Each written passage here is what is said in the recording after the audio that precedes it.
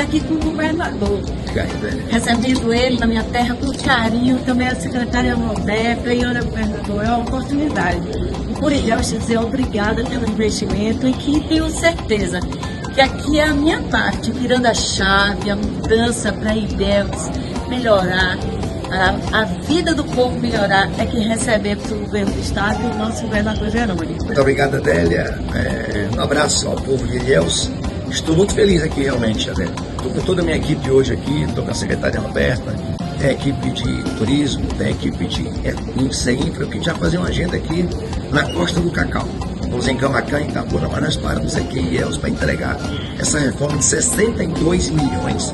Terminal, estacionamento, unidade contra incêndio e garantir que a gente pode ter certeza que além do equipamento que estamos entregando hoje, o nosso esforço para garantir os voos, mantermos os voos regulares, buscarmos outros voos para que Ilhéus possa trazer mais turistas, gerar emprego, gerar renda, levar a imagem forte que Ilhéus merece e tenho certeza que esse debate nesse momento, na sua contribuição sobre os temas importantes e estratégicos de Ilhéus, estará na pauta. Quero te agradecer. Essa só fosse sua coragem.